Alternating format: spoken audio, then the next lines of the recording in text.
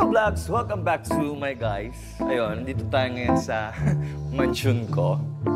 Joke lang, mansion to ni Bingo. Pero kita-kita niyo naman sa likod ko yung napakalaking chandelier. Kami lang yung may ganyan dito sa Pilipinas. Ha? Wala Wala ka ba kay... talaga dyan? Wala boy, ako lang. Ito muna. Ito boy, para saan to? Buksan mo. Wait. Laki. Laki. Yan ang pangsimula mo sa buhay. Uy, sus- Uy. Uy, sandali. Ito, may ibig sabihin to eh. Siguro, tinatabi mo na ako, boy, sa buhay mo. Pre friendship over na to, no? Ano? Para sa negosyo mo yan, boy. Ito bahala kung paano mo paikutin yung pera. Ito naman, oh.